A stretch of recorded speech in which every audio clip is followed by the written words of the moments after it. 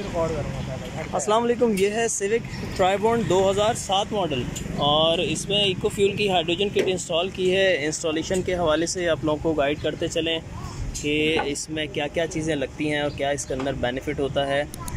H H ओ का benefit ये होता है कि पेट्रोल की बर्निंग एफिशिएंसी बढ़ जाती है। तो अभी नॉर्मली 40 परसेंट फ्यूल इंजन में बर्न होता है, जो अनबर्न रह जाता है, उसको फिर इंजन की जो जाली होती है, जो एग्जॉस्ट में लगती है बाकी अनबर्न फ्यूल वहाँ बर्न होता है। ठीक है जी तो हाइड्रोजन डालने से ये जो बगैर जला हुआ फ्यूल इंजन से निकल जाता है, ये इंजन में ही जलता है, पावर अच्छी हो जाती है, थर्टी परसेंट तक सेविंग हम कर सकते हैं आराम से, और मुकम्मल फ्यूल बर्न होने से जो कार्बन होता है वो जमना बंद हो जाता है। एच एच ओ की एक खासियत ये भी है कि ये कार्बन जो जमा हुआ होता है इंजन में उसको साफ़ कर देता है, ठीक है जी।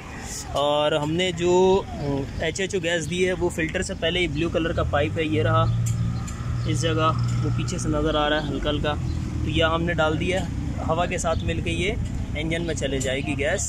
फ्यूल लाइन के साथ हमारी जो है वो आई है पाइप आ गया है। वो आगे नज़र आ रहा फुल स्विच के साथ कनेक्ट कर दिया हमने। ठीक है जी, इसके साथ ही मैप सेंसर के अंदर हमने एक इन्हांसर लगा दिया फ्यूल को एडजस्ट करने के लिए। तो ये हमने काम इसके अंदर किए हैं।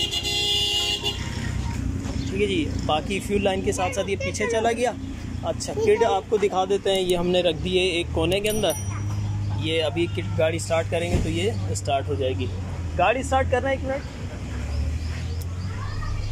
ठीक है जी ये हमारी किट स्टार्ट हो गई है और इसमें करंट थोड़ा सा अभी ज़्यादा है ये एडजस्ट हो जाएगा।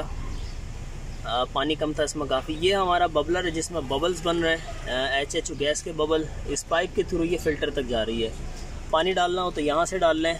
हाई लो यहाँ से देखा जा सकता है साइड से इसके। ठीक है ये मेन रिजर्वायर है जिसमें पानी रिज़र्व होता है।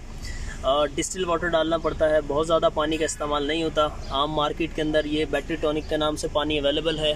ठीक है, कहीं से भी लिया जा सकता है। कोई ख़ास हमारी अपनी प्रोडक्ट नहीं है या इसके लिए परेशान होने की ज़रूरत नहीं है। एमिशन की बात करें एग्जॉस्ट की तो यहाँ स्मेल बहुत हद तक कम हो जाती है। जब पेट्रोल मुकम्मल बर्न होता है तो स्मेल नहीं आती, धुआँ नहीं आता। तो ये इसका इफ़ेक्ट यहाँ नज़र आता है। बाज़ गाड़ियों के अंदर छोटे इंजन में ये वाटर ड्रॉपिंग स्टार्ट हो जाती है। ये चूँकि बड़ा इंजन है तो इसमें जल्दी से पानी नहीं आएगा।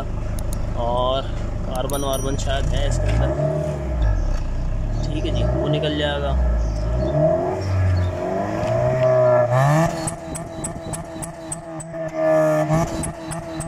स्मेल नहीं है।